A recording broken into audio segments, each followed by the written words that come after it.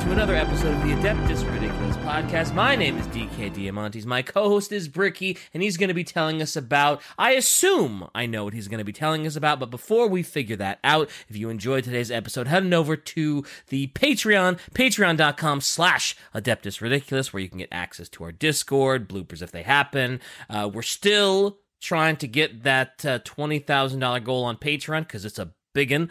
Uh, if that happens, I will be manning the episode for uh, Warhammer Fantasy. Try and get Bricky converted. Just one episode. Just one. Patreon.com slash Adeptus Ridiculous. Bricky, tell him about that other stuff. Other stuff. Mm. See, there's some really good other stuff. Mhm. Uh, we're gonna be finishing up Master of Mankind real quick, so you make sure you get that done. But more importantly, we have new merch. Ding, ding, ding. Sign the alarm bell. Ring Hell the gong. yeah. Activate the bat symbol. There is new merch, and it is the first ever drop of sweatpants. Yo, let's go. I, we have not done sweats before. I just got all the stuff for it, all of the important tech to get them printed, and we're gonna start off. Ra- you know, rather less is more. Get a Mhm. good old th- pair of both gray as well as black sweatpants with the gray Adric logo on it. Um, it's got it's kind of like puffed up. Like you can kind of like feel it. It's got like the it's like a it's like a puff design type of thing. So It feels Oh. really really good on the sweatpants. And I also kind of want to like I don't know, word of mouth. It's still difficult. The sweatpants are really really nice. So Uh-huh. for the first week from today, Wednesday till the next episode, they will be all 10% off to celebrate the launch to start with and also to get it into the hands of as many of you as we can so you can be like, oh, damn, this is nice. And you could tell your friends. So, Hell sweatpants, yeah. Adric sweatpants available now. New merch, ding ding. 10% off for a week in the description, orchid8.com. Mm, I need to buy me a pair. And actually, I think you'd probably, if you keep wearing that I'm a tank hoodie as much as you do, you're probably never going to take these sweatpants off. Oh, I- gee whiz. I okay. One, never say that again. Oh, that's right. I. Oh, yeah. You know, you're right. And You're right. and two, yeah, I've I've worn these sweatpants for like every day for the past like week, the various colors and stuff, and I'm like, all right, Thrilled with them. I need to stop. I need to Nice. wash these. Oh, you haven't been washing them? You just gave them the. No, I had like I had like three pairs to test out Oh, okay. sizes and stuff. So Okay. it's okay. it's fine. Don't worry. About wink. it. Wink. Don't worry about it. Same same pair for like flies are humming around and No, it's fine, guys. I'm just testing it. It's like Bricky. You smell like uh, raw sewage mixed with puke. What am I, a, a baseball player with like five million superstitions? That's just sports people in general. That is true. That's any sports person. Yeah. So, All right, Bricky. What what are we doing? I think I know what we're doing, but I'm not. I don't know. You could have you could have thrown me a curveball. you you know you know what you know what we're doing. Yeah, we're doing the lion, aren't we? We're doing the lion. We have to do the lion. I mean, we have to do we the lion. have to do the lion. Yeah. The new Arks of Omen book comes out uh, later this week. So today Oh. will be the lion, and then next week will be the Arks of Omen book on the lion. Oh, I didn't realize the Arks of Omen book was coming out that soon. I thought there was still a little time before that came out. Nope, it is next up. Hell yeah. So we need to naturally discuss the lion. And of course, like with every Primarch discussion, it is giving me crippling anxiety because this these episodes will always be looked at with the Mhm. most scrutable eye because no matter how many times Warhammer fans say they're tired of Space Marines, they get oh boy really salty if you don't do a Primarch right. Yep, yep. Th- th- welcome to another episode of Greater Expectations. hmm You chose Yeah. the wrong channel. I, of course, we have to start with a quote, though. Naturally. Oh, yeah, naturally. Of all the Primarchs, save perhaps Mortarion, Lion El'Jonson stands apart. Part, partially, this is due to his taciturn nature. A brooding silence hangs over him at all times. Yet there is something more, something buried beneath his noble exterior. Perhaps this is a result of his upbringing, growing to maturity alone in the monster ridden forests of Caliban. Even at a council of war, the lion moves like an apex predator. He is always watching, always planning, always hunting. He unnerves even his brothers. By Ooh-wee. Malcador the Sigillite. So one might say he, he's an apex legend. Mozambique here. I don't I don't know any Apex Legend references because I'm terrible at VRs. Yeah, I know. So, the lion, much like with the prior Primarchs, I've, I've found it to be a much better way to recount the deeds of them to a certain extent. Um, particularly during the Horus and the Great Crusade, there are like 9,000 battles that occur. But the Mhm. more important thing is to get you to understand the lion, to understand the important, the, the- like how the lion operates and and what he's like. Because Okay. to get to get what the lion is all about makes more. Uh, it's a better understanding of who he is. Okay, okay. So, as we all know, all the uh, gestation pods grabbed, thrown into the warp. Yeeted by chaos. His pod landed on the feudal death world of Oh. Caliban, located rather close to the Eye of Terror. All right. now, Caliban had its surface covered by immense forests. It was a giant forest world, and it was inhabited by monstrous beasts mutated by the touch of chaos after the hmm. birth of Slaanesh, hence its location to the Eye of Terror. Yeah. Lovely So- place for a baby to show up. Oh yeah, it- like this is a death world. It is a death world. It is classified as a death world. It is basically gigantic forest teeming with now chaos roided up monsters. hmm A bunch of dinosaurs took chaos Tren and and now they're goblins. It's interesting because usually it, it feels like if one of the gestation pods uh, lands on a death world, that Primarch usually falls to chaos, don't they? Usually? Isn't that how it goes? Um there, uh Mortarion was on one. Um Curze wasn't, Angron wasn't, Perturabo wasn't, Alpharius definitely wasn't. I guess of the Um, ones I've heard of, I just assume that like Death World usually means eh, I'm turning I, on mean, amps. Mortarion definitely, Mhm. but the rest, Not so much. Okay. no, no, I don't Okay. think so. Um, but the lion, yeah, his was a death world, but his was a death world because of giant apex chaos beasts out in the world. So Okay, he survived in the forests alone, living as a wild man. Uh, he basically was Tarzan, Okay. and if you had to, It's basically Tarzan on a Death World jungle. Okay. Okay. He- he was basically murder hobo Tarzan.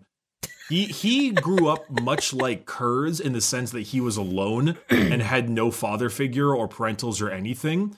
The difference was is that Curze ate children and and rats and things to survive in, in a in an awful awful hive world. He was Oh. literally in the jungle, the mighty jungle. The lion sleeps tonight.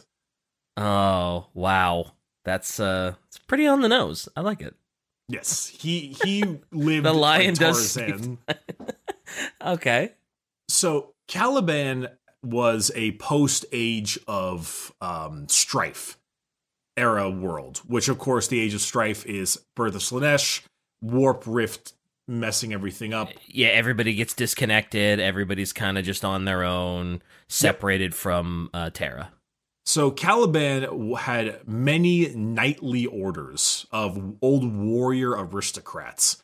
Uh, these were people there to um, to defend from the monsters in these massive fortress monasteries. Um, the knights maintained a couple aspects of the old technology, such as like old school bolt pistols and simple kind of power armor. Uh, Mhm. But they were also really just pre-industrial, so they still were riding on horseback and things of that nature. They had good, some good tech, but they were not a very industrialized era. They had giant castles guarded by knights with old school knight aristocracy. Oh, so they were so they were just kind of like medieval era knights Oh, guarding yeah, their like- medieval castle, but they had like bolt pistols and stuff. Yeah, it's it's Knights of the Round Table. They're one of the the main group of uh, the Dark Angels is the Inner Circle, and they Ah, have names like Azrael, Ezekiel, Belial, Samuel. You know, all that kind of Okay. I, I can see why the Dark Angel would be so popular then, because that's I feel like that's such a popular aesthetic that if you really lean into it, you're gonna have a lot of like medieval knight, medieval times fans. I mean, Space Marines in general are 40k or like like sci-fi knights. You know? Sure. but like the if you wanted to play as the sci-fi knights based on knights, even more so. Yeah, These, like these the, are the ones. the sci-fi space marines that are based on like the Knights of the Round Table and Arthur and stuff like that. Then it's like, oh, okay, I I get why these guys are so popular now. Right. It's it's the honestly a lot of the Space Marines in general are based pretty heavily on the Dark Angels because they were they are the first legion, right? Oh, I I guess I didn't realize that they were the first. Well, they were the first to be found, so to speak, but they are Right. their their legion number is one. They are the first legion. Oh, You know, the eighth is is Night Lords, the fourth is the Iron Warriors, etc. They are the first. oh, I I I was unaware of that. They're number one, the Dark Angels, the first legion. Look look Um, at you, look at you. So they, the, the Knights, that is, they represent the most prominent organization on Caliban, known as the Order. Um, and the lion was eventually found in a deep forest, so deep where the trees above blot basically blot out the sun for the most part. How the thick forest canopy, and in there led some of the most dangerous creatures on Caliban. And it was here he spent his youth. It's a hell of a training ground. I mean, if if you're gonna grow up to be a Primarch, that's that's one way to train yourself before you you know yeah. It wasn't quite sure how long he was down here. Uh, we assume maybe not more than 10 years, but he's a Primarch, so God knows how he grew up like that. Yeah. But he spent basically his entire childhood in these woods. Wow. On a scale of one to Catachan, how brutal are these uh, jungles that he's in? I think Catachan is worse. Mhm. Um, but I think it's simply the fact that uh, I think I think Catachan is worse, but Catachan has like actual industrial Imperial Guard stuff. These are these are dudes on horseback, so life is life is rough. It's Okay. really rough. Still um, very bad, but for a different reason. Yes, very bad, but but like they're both they're still both called death worlds. Oh I yeah, yeah, yeah, yeah, yeah. The plants aren't trying to take over his brain, I guess. A leaf doesn't fall on his head and brainwash him. Gotcha. Right. So eventually, he met with an, a group of the Order Knights. And among these knights was their hailing champion, a man named Luther. Oh. And during one of the expeditions, or hunting expeditions, they went and found him and kind of kind of cornered him back to a tree. This feral man out somehow in the middle of these forests. A lot of the knights wanted to kill him, Mhm. because he's like, this is very dangerous. but Luther decided to go against that and instead attempt to take him in. Okay. Um, and that's what he did. He brought him into the order uh, and taught him. Him and the elders taught him English. Well, not English to speak, basically. yeah. High um, Gothic. Yeah, uh, low Gothic. Mm. He uh, he never because he had never spoken before then. Naturally. Yeah, because he was Tarzan basically. Yeah. So taught him to speak, taught him all kind of stuff. But of those years he spent in the forest, he would never recount. He would never talk about it, and and if I'm not mistaken, never has. Huh. Wow. I mean, I not like he doesn't remember it. I'm just assuming it was so savage that he's just like, nope, uh, uh fuck that. I'm forgetting that as soon as possible. He can Doesn't want to talk about it. eat my ass. I'm not reliving that ever again in any way, shape, or form. Mm-mm. Screw you. So he was named by uh, Luther Lion El'Jonson, which is meaning lion, son of the forest. in the dial- dialect, which the Calibanite dialect is Low Gothic. Um, so he was assimilated assimilated into the group of the Order, basically. And among the Order, he was taught human ways, speak, understand culture, so on. And as we all know, Primarchs learn incredibly fast. He picked it all up really quick. Mhm, Classic, yada yada yada. Yeah, yeah, he's a Primarch. We get it. Uh, he rose really quick through the ranks, and of course, he was a fierce, fierce warrior. And that is actually him you see right there. As, uh, Whoa! yeah, as Grand Master of the Order. Whoa, that armor is so dope. That's so much cooler than all the armor I've ever seen him in. Cause usually it's just like that that other picture Shy posted with like the the the the the white kind of robe with the with the green trim and everything. And it's like, The oh, that's fine. That's that's cool. But that shit, that's like barbarian armor, and I ooh, that's so much better. I mean, his new armor. His armor, Is- his chest is a lion. It's a lion face. Why would he, but he is the lion. Exactly. It's oh, I, oh man, I really like that. Damn it, All right, well, well, he doesn't get to keep it, so it sucks. it's bullshit. So, leading to the greatest heights, he eventually, him and Luther called upon this grand crusade, the extermination of the great beasts of Caliban, so that this people may live in peace and without fear. Okay. And this took, this was 10 years of this crusade. Each victory against the beast brought in new recruits as they put each beast's head on a pike plated around the walls of their fortress. And warriors of the order started to care a hell of a lot more about, a hell of a lot more than just survival. They, they had a reason to fight. And this was great, but did come with a bit of a price, which was the Caliban Knights had a very harsh code of conduct, code of honor. hmm And now all the, the aristocracy, the, the knights' ranks were being swelled with kind of regular folk. hmm And they they weren't really happy about that. Now they wouldn't really speak out against the lion, but the traditions of Caliban were kind of being disseminated. Right. And this kind of weighed a bit hard on Luther. Luther was his his brother, his protege, not really a father their figure, but more of an equal. And Mhm. Luther was the greatest man in all of Caliban. And Oh. he was their strongest champion, one of their best scholars, just the best of everyone. and now all he does is play second fiddle to the lion. You know, I'm getting a whole lot of red flags right about now. This is just red flag after red flag after red flag. Luther is dying and or betraying the lion, isn't he? I don't want to skip to the fun part now, do we? no, no, no. Go, go, please, please. I'll put down my red flags that I'm waving en masse like an air traffic controller, and we- we'll, we'll get to it. But the thing about the lion is that often he would help lead these crusades himself. He was always in battle, always unafraid to speak his mind. He he's like an unwavering gaze, whereas someone like Dorn, because the hardest part is like when you say quiet and brooding, you don't you think of Dorn often, right? Yeah. But Dorn is is blunt and a bit more simple in his stuff. Mhm. The lion is like he kind of sits there surveying everything like an apex predator.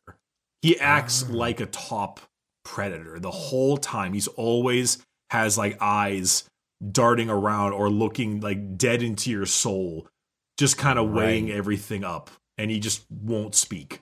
So he's just sort of methodically planning and not really brooding or anything. He's just always he's always on the ready. He's always on the ready. The lion is Doom Guy. Ah, okay. The lion is basically Doom Guy. I do not know who I am. I do not know where I am. All I know is I must kill. The lion is a, a feral apex predator taught to live as a man. And underneath all of that armor and underneath all of that of that beautiful hair is a a feral murderer. He oh. is all about killing. So he's so like when he broods, he's more like a a, a snake just waiting to strike. Like it's kind of coiling and it's just ready to just like, without mercy, without fear. There was a, a, a knight order called the Knights of oh, I'm trying to remember their name, Lupus. And they rebelled against the new order that the lion was going with. They even mm-hmm. started training some of the beasts to use against him. And with this, he hunted them down to every last man. Every single person they entered the uh the castle, killed the beasts, and went through the castle into every chamber, into every lock, into every hidden passage, and slaughtered every single one of them. He wow. would hear of none of this. I mean, that lion is efficient, if nothing else. That is, he's, you know, make, ooh, boy. Lion's job is to kill. Yeah. So you really don't want to be on the lion's bad side because you're, the, well, you're probably not going to be there for long. It sounds yeah. like 10 years of crusading against these beasts, 10 years of fighting. The Order became so powerful they had their final full crusade as it was long and bloody, hundreds of men dead for each monster of uh, nests of monsters put to the torch, and many grew super tired of the endless slaughter, except for the lion. Mercy has no place in war. To leave the task unfinished with any foe alive would be to waste the lives spent in pursuit. The end, the only end allowed is total annihilation by any means necessary. They would ambush where the beasts came to feed, poison the pools where they drank, set ablaze the forest to have them run. Anyone wow. who was frightened by the power and skill of the lion or went against his order were killed to the last man. Okay, so so the lion is Captain Genocide. He's actually really good at the genocide. Yeah, yeah, he's yeah, really good at it. I, I was gonna say that sounds like uh, he just kills to the last person, uh, regardless. He, he's Captain Genocide. His his forte is just genocidal death cult. So there's an interesting discussion between the the lion Russ, right? Mm-hmm. Russ was often referred to as was he referred to the emperor's executioner Oh, you're the one that knows all the lore. I don't know all the all the lore. I'm actually I'm actually Does a bit. Uh, anybody? Uh, I'm actually a little bit behind on my on my Russ lore, but um, I think they were called the Emperor's Executioners, but they they felt like often sometimes more of like a big threat. It's like you point to Leman Russ over here, and he's the gigantic wolf snarling his fucking teeth, and like, don't screw with me, or you, or this is gonna happen. Mm-hmm. But the the lion is who you send when you want nobody to return. like the Damn. lion the lion is the is if the um the wolves are the executioners, the lion is the exterminator. Whew. All right, all right, lion. Uh, so the lion is indeed just a savage. Well, I don't. I don't know if savage is the right word, but well, he's, he's he likes his job. Yes, but he takes in a lot of the aspects of of old knights.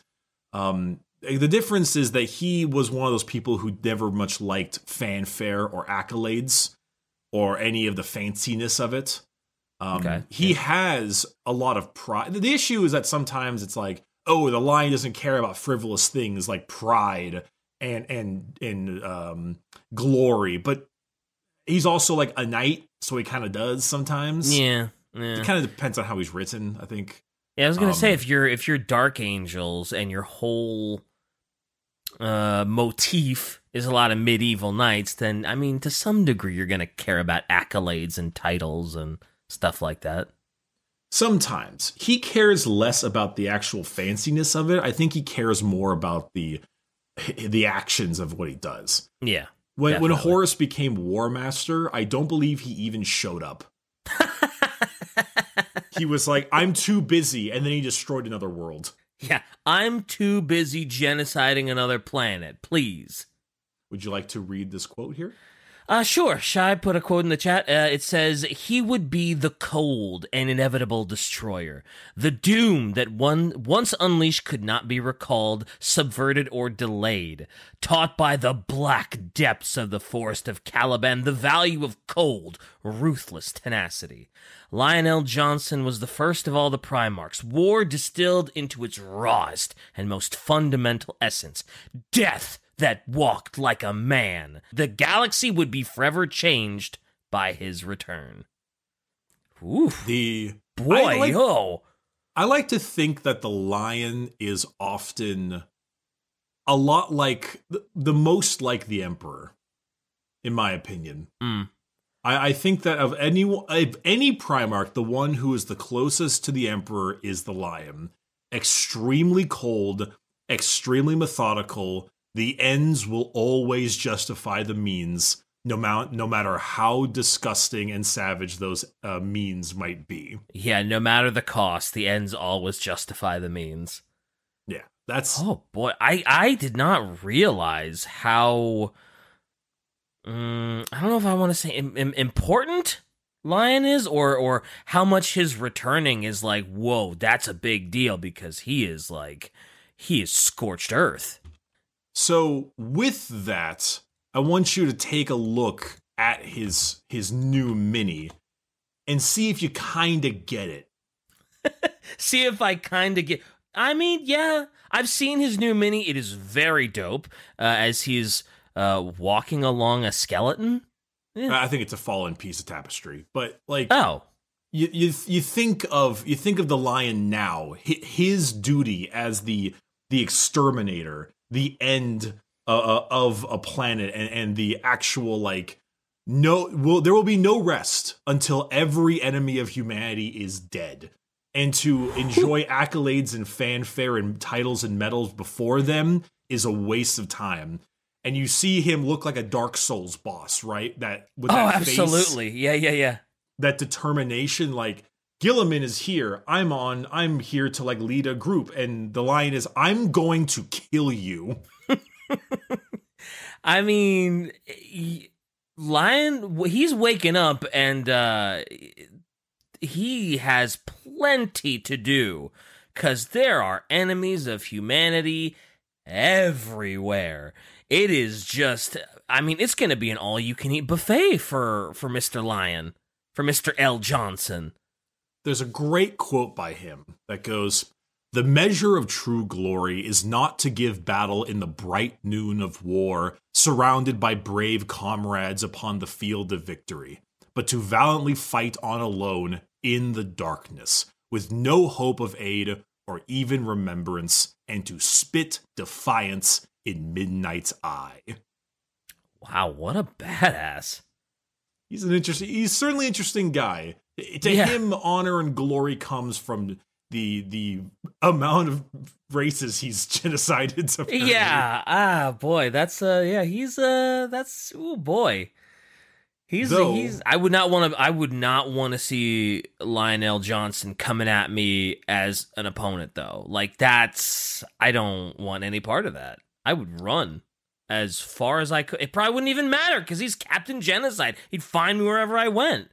That's that's kind of the vibe. Is that the lion is the the point at a problem and have it be done. He, he's he's the the end all be all.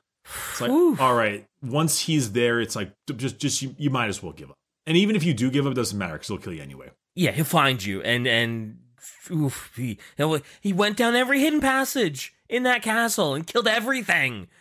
And then when he returned after doing that, heaps and heaps of praise was thrown upon him by the members of the order. Oh, I'm sure he loved that. well, the particular Luther was very happy with him, but competed with him often for honor and victory as equals. Mm-hmm. Now, he had eclipsed him so far past. He rules all of Caliban. And while Luther is, is happy for him, he's got a twinge of jealousy. Luther was the greatest man Caliban would have ever seen, and he was born in the same time as the lion. Oh, man. That is unfortunate. The greatest man on the planet, That's not a Primarch. So after this came the arrival of the Emperor. He brought in 500 mem- uh, members of the Astartes down from his spacecraft. Uh, the Lion dueled the first captain of these and found his uh his entire, um, I guess, Astartes legion to Mhm. be respect. Took their measure, gained respect, and Okay. they, if you don't tell, they have kind of a black power armor in the pre-heresy photos. Uh, You know, I'm actually not sure I've seen too many pre heresy Dark Angels pictures. I've seen So- the post heresy ones where they got like the flowing white robes and everything, and it's kind of green. Pre-heresy has like a bit of a black color. Often it's described as a a green so dark it's mistaken as black. Um, but it's Oh, basically black and red. That's kind of cool, actually. A green so dark that's mistaken for black. I like that. Yeah, and so um, based on old Calibanite myth, it was, and the angels of darkness descended on pinions of fire and light, the great and terrible dark angels. An old fable, Ooh. hence the name, the Dark Angels. The Dark Angels. Yeah. Ooh, I like that. That's a. Hmm. That's a that's a hell of a descriptor. That's a hell of a way to describe your uh, faction. So with this came the slow degradation of the Knights of Caliban and Caliban in its own right. Um, there was a lot of indecision among the ranks, but at this point, Space Marines were not individual knights. They were not houses and, sh- and all that stuff. They were unity, full unity as brothers. So all of the Knights of Caliban had to be disseminated under one banner Mm-hmm. breaking away the tradition that they had. Yeah. Caliban itself was also in need of recruits for the Imperial Army. And within an unimaginable amount of time, like super quickly, the entire forest world of Caliban was retrofitted into factories and production mines, from a lush green world of castles to refineries, mines, and workshops. Oh, that's unfortunate. It is. That sucks. Well, I mean, it was a death world, so you know, if if some world has to be, you know, torn down and turned into an industrial war zone, eh, there's worse. You know, now it's at least not a death jungle. It is not a death world anymore in that sense. Mm-hmm. That's Um, good. Air but- good in that sense, but he had already exterminated most of the beasts anyway. So, That's true. They were genociding the beasts left and right. So, it, yeah. Yeah. so then began the process to create Astartes. Gene seed for some, but some who were a little bit too old would not be able to get the gene seed and were needed to be modified. Uh, biology, grafting, all kinds of uh, invasive surgeries like that. Mhm. Um, they did the same thing to Kor Phaeron, um, uh, Lorgar's abusive father. oh, fuck him. Yeah, he's the worst. Uh, Luther also got this treatment of being kind of buffed up in that way, but Mhm. not at the height of an Astartes. So now Luther is surrounded by men that were his squires and lower level knights, now far stronger than he could ever be because they were full Ah. Astartes now. I was gonna say that has just got to add a That's that's got to be such a bitter pill for him to swallow because he was already getting jealous of um the lion, and then it's like, oh, by the way, not only are you not as strong as the lion, now you're not as strong as the squires and the people that you used to dominate, and ooh, that's got to be just a knife twisting in his side and just. Ugh. It keeps it keeps building. Uh, it just doesn't get better for old Luther, does it? So, other Primarchs often saw the lion as dour, always in a dark mood, and couldn't care at all about the opinions of others. But to wow, him, they thought Captain Genocide was dour, huh? No way. I'm enjoying the fact that he's Captain Genocide. he is absolutely Captain Genocide. I mean, look at that! Look at that face! Look at that jawline! Like you, you, you can see it. Oh, oh yeah. Oh yeah. Um, but to him, the war against monsters did not end on Caliban. His job was simple to kill. the enemies of humanity must die. Yep. I mean, like we said, what else? What else would you use him for? Like, we we've we've dubbed him Captain Genocide. What else are you gonna have him do? Point him at a problem and solve it. You know, I've always told you that the lion is kind of an asshole. You Uh, kinda, yes, you, you kind of getting it now a little bit. Yeah, I'm I'm definitely getting it now. Yeah, I who e good. gr- Yeah, okay. Yeah. And, and you Mhm. understand why he was also like, "Oh no, Curze is on your homeworld, Guilliman. I'm gonna nuke it." you what? I I totally get that now. That is so on brand for the lion. It is just yeah. I I I totally understand now.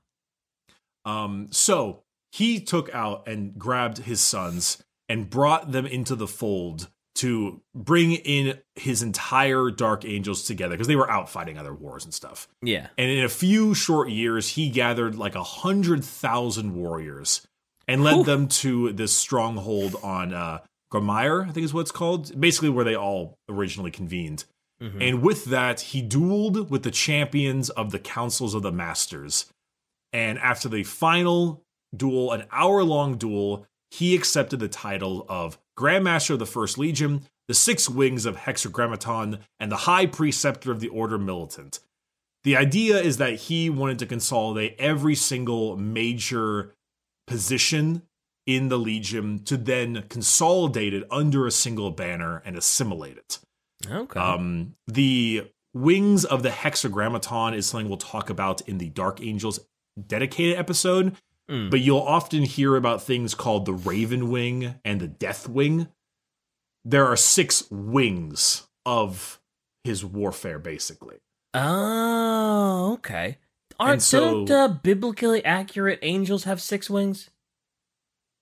If that's true, then wow, that that's that's something I never thought of. Yeah, sure. Uh, I ooh, I might be wrong. I might just be thinking of some dumb thing I saw in an anime or something once. So don't quote me on that. Well, if you're gonna kill God, anime is the way to do it. JRPGs are the way to do it. If you want to kill God, you go play yourself some like Xenogears or something, because mm, you are on a trip. But uh the different wings, like Raven Wing, are black uh armored, really fast speeders and jet bikes. The Death Wing are bone colored, like the inner circle, the ones that know the most. Mm-hmm. That kind of stuff.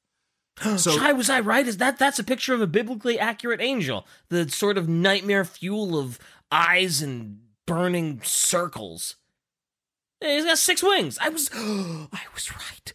He was right. Oh my god, it does happen. So he swore an oath. We are the angels of darkness. For us there is no peace, no end but war and death. We shall not walk in the golden halls of mankind's future, but stand resolute in the shadows beyond. While we yet draw breath, this imperium will not fall, and we will not know defeat. For I pledge every warrior, every drop of blood in the legion, in the name of victory, no matter the cost. Wow. That's man, the Dark Angels are so extra. In a in a good way. But wow, they are so and they just oof. I would not Now I'm just like, man, like it, it's never great when you have to face off against like space marines. But I'm just like, man, I would really not want to face off against the Dark Angels. No part of me would want to see the Dark Angels coming at me in like a, a, a war scenario. It it just seems like the worst. There like was you a- are you're dead. Yeah, he he was.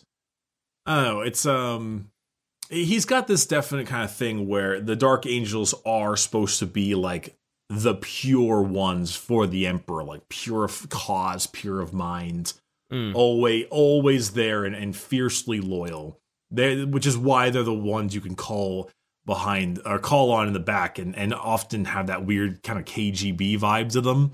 Mm-hmm. Um, see, there's an interesting thing about the lion. There's a book excerpt that says he was always been guarded with his humors. Those few who knew him took it as a uh, like mistakenly believed it to be like that of his character brother Dorn, but that was to mistake circumspection for obduracy and aloofness for indifference. He demanded much and gave but little, yet in his hearts he loved all of his sons as both a lord and a father. His Aw. pride in their deeds was surpassed only by the demand he placed on those deeds being exceeded. He he had overseen the extermination of countless billions. Such was his duty, his special place within the pantheon of warlike avatars who served their father's ambitions. And though he took no joy from it, nor did he question its justice. His brothers thought him unquestionably ruthless, and they were right. They believed that he would expend any resource, even the lives of his own sons, to prosecute the Imperium's wars, and they were right. They said that he had not shed a single tear at such losses, even at the annihilation of the Rangdan had seen his legion's strength struck in half. And again, they were right. They thought these as criticisms, Oof. but they were not. They were not. Oof. Uh, uh, during that whole thing, I was just like, man, Corn would love the lion. I don't know. I think he's a little too secretive for that. Maybe. Maybe. He's, he's certainly uh also yeah, I don't I believe he doesn't take any joy in the murder. It's it's more the the oh, okay. See, I, he's I, not like Angron having fun. got you, got you, got you. That's that's fair. That's fair. So, with the rest of this comes a couple of key moments. There's a, like I said, a million battles in the heresy and the like, but the one that's the most important I want to discuss is Sarosh. So, Sarosh was a major fight during the Great Crusade that had them dealing with a very specific group of secretly chaos worshipping people called the Saroshi. Um, they were originally going to be imperial compliant, but ended up realizing that the Imperium wanted to be atheist. And they believe that to be an expression of pure evil and their anti religious stance to be terrible. Yet, without knowing, they were actually worshiping chaos gods. They met with the lion, their leader, and the, they renounced the lion and said, You are terrible and, and awful, and the emperor is a creature of falsehood. In which oh, naturally the lion took the man and was like, Enjoy being in multiple pieces. I was gonna say, him. of all the like he th- that guy knows who the lion is too, right? Like they're not unaware of what the lion does and what the dark angels do, right? How in God's name would you say that to? What what did you think was going to happen? It was more. It He's was more of a. genocide. It was more of a like spit in your face kind of reason. I think he knew what was going to happen to him. Oh, he, he knew he okay. He knew he was gonna die. He knew he was gonna get cut into like eighty-seven billion pieces, and okay. He assumed so. I probably yeah. I, he, he was on the he was on the Lions flagship. okay. Um, not to mention, oh yeah, that's right. Did you, did you know the, the Lions flagship is called the Invincible Reason? Very fitting. Very, Mhm. very fitting. Uh huh. Okay. So what was interesting is that Luther and another librarian were in the embarkation deck, and Luther decided to investigate the shuttle that he came in on. And Okay. when he came back from the shuttle, his face was white, and he told the librarian and everyone else to leave. Uh oh. And eventually, upon more investigation, the second uh, the librarian guy came back and poked at something that was terribly wrong. And Luther had found out that inside it was actually an atomic weapon, like a nuke. Oh, that's no good. And so the Saroshi were intent on assassinating the entire Dark Angels hierarchy, including the Primarch. And- Oh. The librarian was asking why the hell did he not tell of this earlier? And Luther was thinking to himself, I could just say nothing. I could s I could I could just leave. And if I just left, it would be me at the head. Yep. Oh no! So Luther was trying to betray. He was just gonna whatever. I'll just leave it. Let him. Let him die. Let him get nuked. Oh man. Luther. Well, he changed he changed his mind. He he Oh, was, right, had, right. he had these thoughts in his head and he was like, "Oh god, no no no no no no. This is wait, what what am I doing? What am I thinking? Like th- this is not worth any of this." And so eventually he came around and jettisoned the nuke into space. Oh, okay, but the cracks are forming in the armor. The cracks And- are forming. yep. He was thinking about it.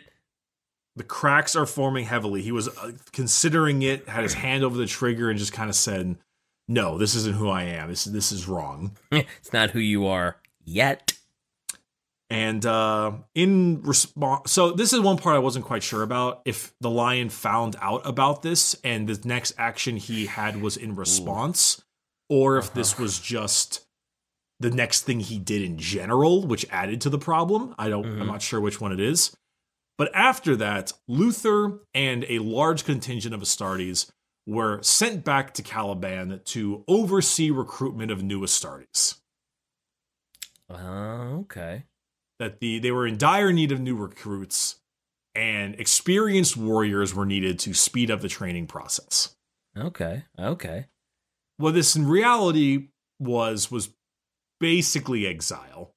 I, I was gonna say it's kind of like uh, maybe the lion either knew about what happened, had his own little suspicions, and he was like, "I need, I need to get Luther as far away from me as possible. Like, I need to get him away from like important ship and me, because I don't trust this. I don't trust this guy. Like, he's he's he's showing some cracks." And it didn't make much sense too because if the Dark Angels so badly needed warriors, why are they taking warriors off the front line? Training people is for seers and, and Yeah. elderly warriors, you know? Yeah, you don't take one of your uh, top lieutenants. You'd be like, "Oh yeah, go go go back home and and train soldiers." It's like that's that seems like a waste, right? Uh, pretty much. And so that's why the intentions of it became kind of clear. Mm-hmm. So this began a brooding distrust and hatred from Luther and the people who had been sent out into exile. Just in time for a certain heresy by a man named Horus. Ha ha. Okay. Okay, Luther. All right. All right. So the main thing, the gambit that Horus had to play was the fact that the Dark Angels and the Lion in particular would never be swayed. Oh no. He he was not going. No way, no how. yeah, probably not. Probably not. But So- Luther. oh no, no, no. Nothing with the Luther thing. Oh, okay. It was more just okay, the Dark Angels are enormous. They have a gigantic overall uh contingency of of, of people. Um, so Lorgar, you and Angron are gonna beat the shit out of Guilliman. Mhm. and, and go, go go to Calth and do all these kinds of stuff. And I'm gonna send a lion to the fringes of space to do campaigns far away from everything. Good call. Good call, Horus. That's that's smart. Smart. And um and then at that point is somewhere around the time when Horus eventually revealed himself as traitor, along with the Death Guard, World Eaters, um, Word Bearers. Yeah. I, I forget the. well, Uh, it was a certain amount, and then there was the ones that revealed themselves as traitor on Isstvan. Yeah. Gotcha. Um, so humorously, during this big fight way back out there, he actually met with Perturabo to discuss about the traitorous issues going on. yeah. and during this fight, dealing with some of the uh, people in the fringes of space, he had actually Lion had gained a bunch of siege weaponry. Okay. uh, from the whole thing, and they were discussing deliberations of what's the most important uh, type of thing. And they had a discussion, and it goes, Excellent, Jonson said. In that case, they, they made like an agreement. In that case, you're welcome to take possession of the ordnance siege guns at your convenience. On one condition, of course. The Primarch raised a thin eyebrow. Oh? And Jonson gave his guest a sly grin. You must promise me they'll be put to good use on Isstvan. Perturabo, Primarch of the Iron Warriors, smiled, his eyes gleaming like polished iron. Oh, yes, he said. Of that you may be assured. Nice. Very, very on brand for. I like that. That is that is a that is a funny. Obviously- it's it's, it's it, it fits the character and it's actually pretty hilarious. Yeah. It's uh because Isstvan 5 ma- Drop Site Massacre was the attempt to destroy Horus. Yeah. And of course, that's what they turn. They realize they turn traitor and destroy so many of the legions. And so, stop shooting, says the uh, says the word bearers. You're hitting our troops. Lol. No, I don't think I will. Have faith, word bearer. We're all bleeding today. Click. Boom. Gotta love the Iron Warriors. Mm-hmm. Love them. So we talked a bit about this in prior Primarch episodes. After this, uh, the Lion, Guilliman, and Sanguinius are kind of cut off from the wider Imperium due to the ruin storm created by Erebus and Lorgar, the giant warp storm blocking travel. Mhm. They create a Imperial Secundus, a secondary Imperium at the time, with Sanguinius as acting emperor. Mm-hmm. And during this time, the Dark Angels absolutely body the Night Lords. Just slaughter them wholesale. Because if there's one thing Night Lords are good at, it's losing. Oh, yes, absolutely. I mean, to be fair, though, it sounds like against the Dark Angels, not too many people would have a chance. Like that sounds like one of those factions where like if if you're if you're trying to 1v1 them, it's not really a 1v1. Uh you're probably going to get bodied. It doesn't matter if you're a Night Lord or maybe the Ultramarines just because, you know, they always have to win, but yeah.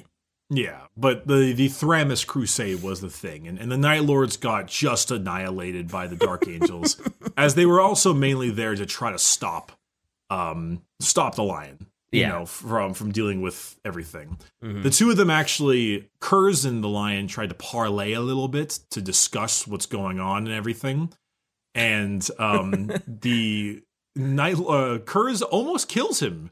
Shockingly Wow. enough, Really? hmm he almost strangles him to death Whoa. uh, Okay. during their fight. Which I mean, the man can see the future, so that certainly gives him a bit of a a bit, a bit of a tactical advantage. Yeah, a bit of an edge. Sure, that's fair. Yeah. Um, so as he was about to kill him with that, a Dark Angel's honor guardsman rammed his sword through Curze's back, um, to get him off of him. Mm, should have seen that coming, Curze. Should have, but he was, he was, you know, he's also crazy. he um, is. That is. He is uh, out of his mind, batshit insane. Yep. And so for the next three months came a point where after Curze was healed, him, Sevatar, and his Atramentar Terminators boarded the Invincible Reason, which and started slaughtering the Dark Angels, resulting in the death of all but only 12 of the Terminators. Ca- uh, Whoa. Sevatar being ca- uh, of the Night Lord's Terminators, that is. Because Mhm. again, they're great at losing. Yeah. Um, Sevatar being captured and imprisoned, and Curze fleeing Lion El'Jonson and playing Among Us for the next multiple months. yeah. Ooh. Oh, oh, that's when the Among Us game starts. Gotcha. Okay. Yes, he pl- he was evading uh, the lion on his own flagship for months, wreaking terror in the vents and attacking the mortal crew. He's venting. He was. He's He venting. um he eventually escaped with Sevatar and the various other Night Lords and made his way down to uh Macragge, if I'm not mistaken, and then that's where the oh my god, I'm gonna nuke the nuke Curze. like please don't. no, just let me do it. It's fine. I I've genocided smaller planets. Don't worry about it. And so then you had the trial of Konrad Curze, which we talked about in the Sanguinius episode a lot. Mm-hmm. um, that whole shtick, you know, he gets exiled from the Imperial Secundus because of this whole thing. He comes back and he's like, wait, don't kill Curze because if Curze is alive, then that means, and he says that the Emperor sent an assassin to kill him, and that means the Emperor's still alive. And Ah, et cetera, et cetera. That was, you know, all lots of 40 million books written on this stuff, but the important stuff arrives after this, which is Mm-hmm. the lion arrives at the siege of Terra too late. The emperor has been mortally wounded and placed on the golden throne. Mm. Uh, Horus is dead. Sanguinius is dead. The Schraders are being routed, etc. So on. Yep.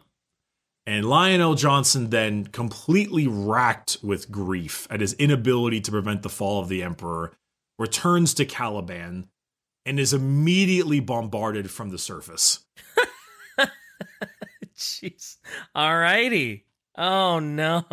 Poor, poor lion. I mean, because seeing what happened on Terra's got to be just the biggest disappointing failure of his life. Is everything he stands for he failed to do. And then he comes back and just, oh no, oh. It was also a very unglorious way. He wasn't able to get there because he failed in battle. He wasn't able to mm-hmm. get there because he was delayed, kept at bay, and then cut off by a giant warp storm. There's Yeah. there's no no justice in losing because you couldn't even make it to the finish line. It's- Yeah. Really demoralizing for someone like him. Yeah, he got a DNF in that race. That's unfortunate. So when he had returned to Caliban and the planet's orbital defenses started firing upon him, he had found out that Luther, with the council, had decided to go along with Horus to betray the Imperium and secede from the Emperor and the Lion, all the while under the corruption of chaos. Yeah, that's that's what I was afraid of. Oh no. Chaos corrupted Luther. Yeah, which which uh was there a Uh, specific chaos or is it just chaos in general corrupted him because just un- okay. Yeah.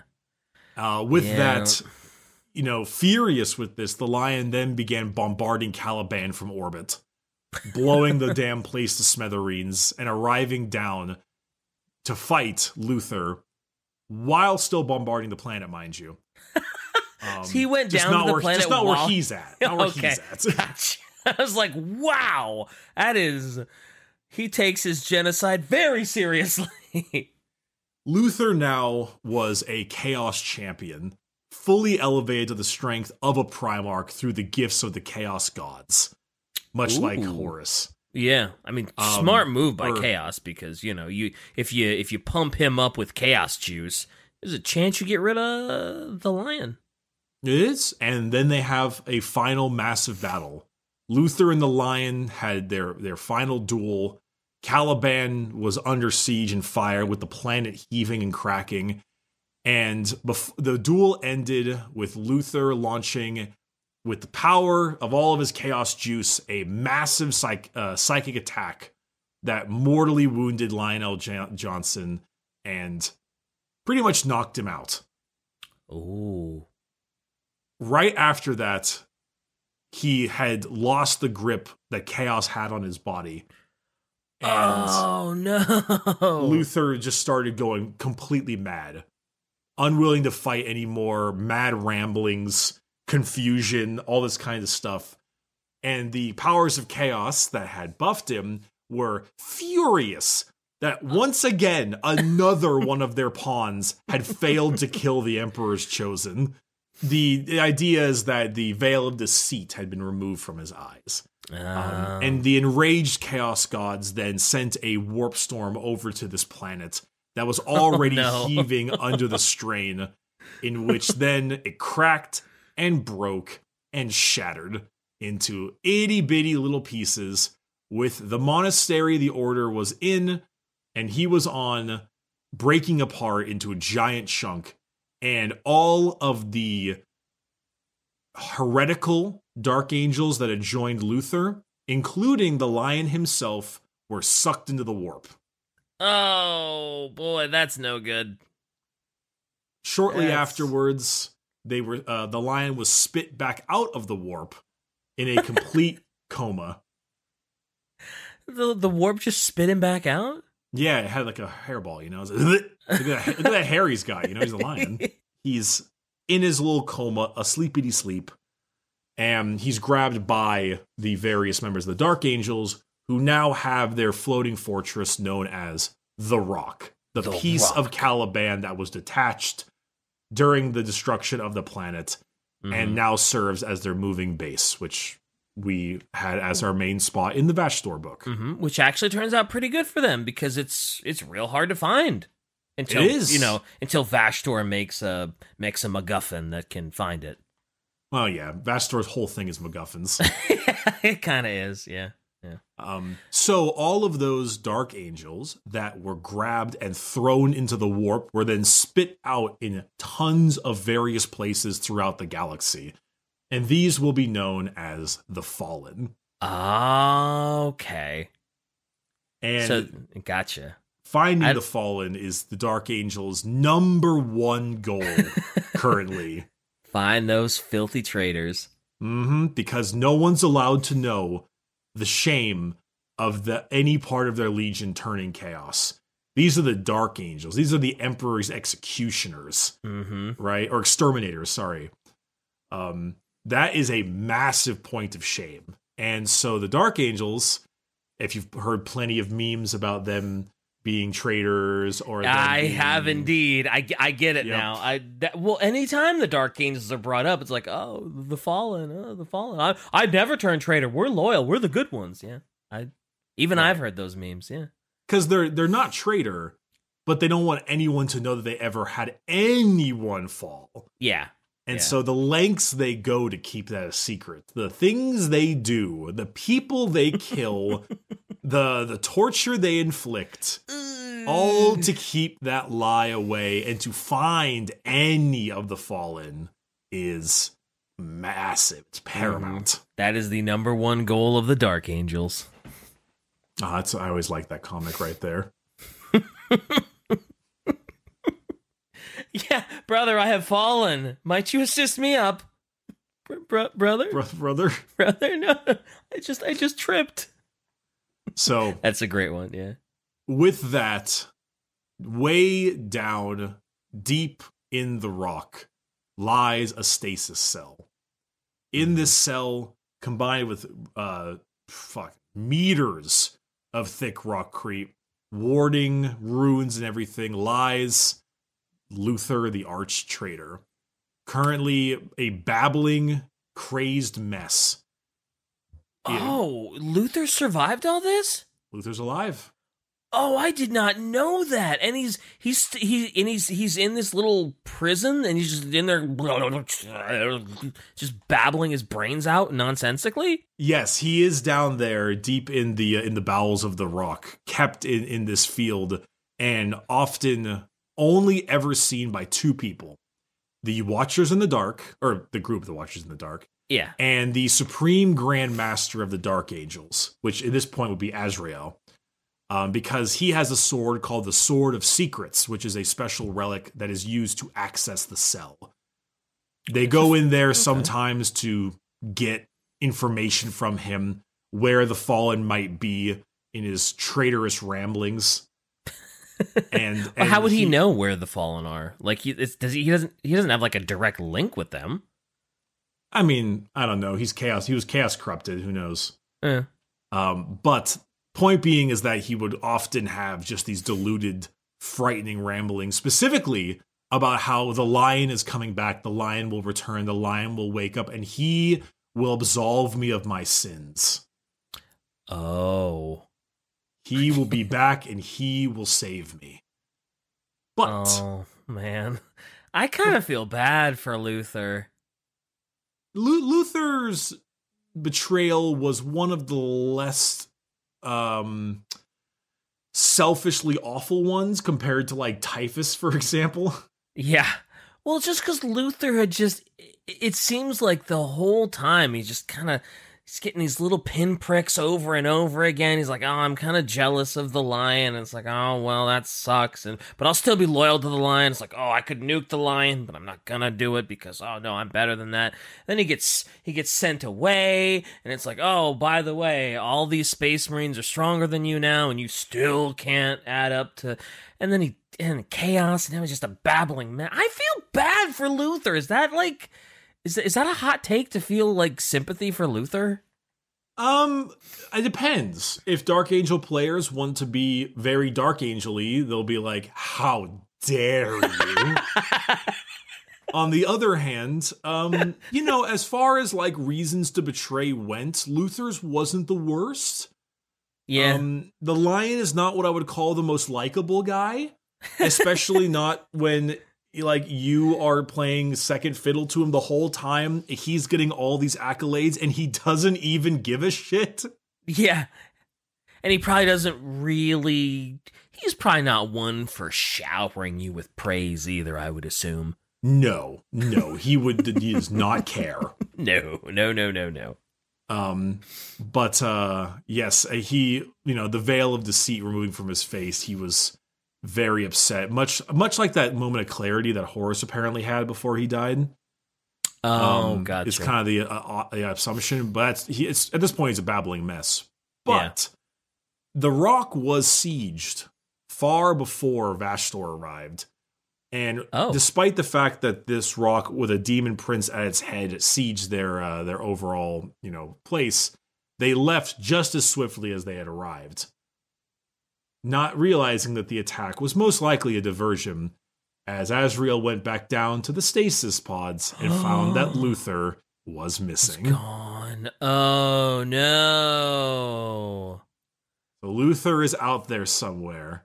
So at that point, the lion being being put to put to nap time by Luther's attack and the warp shenanigans, sleeps on the rock, Mm-hmm. deep down below the area of of all the stuff, etc. And well, we know he's awake now.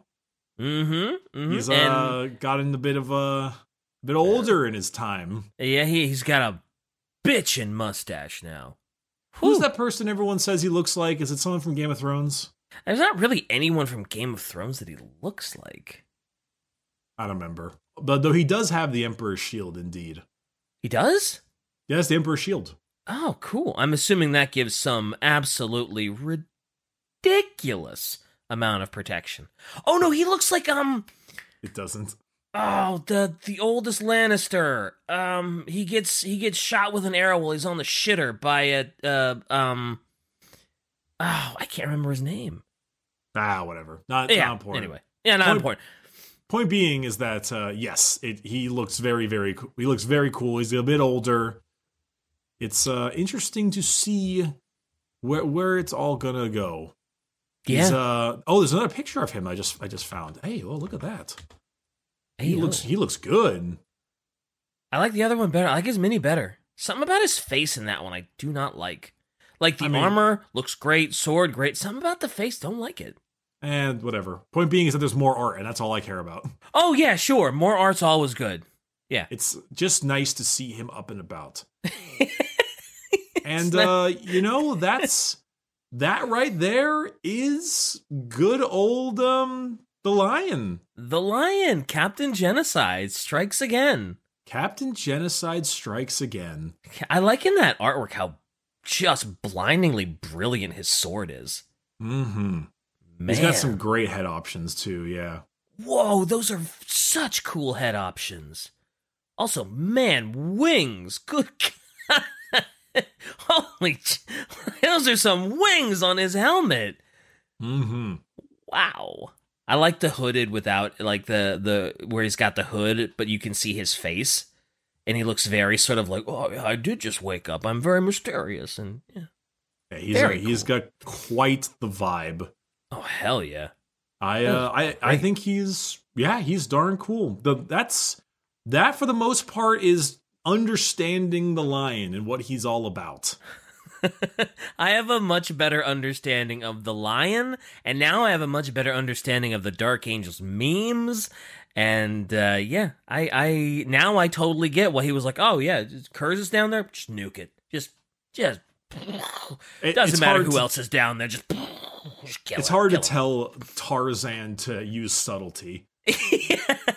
Tarzan, please use your brain. He he just wants to unga bunga. He just wants that unga bunga DPS, man. He just wants to murder.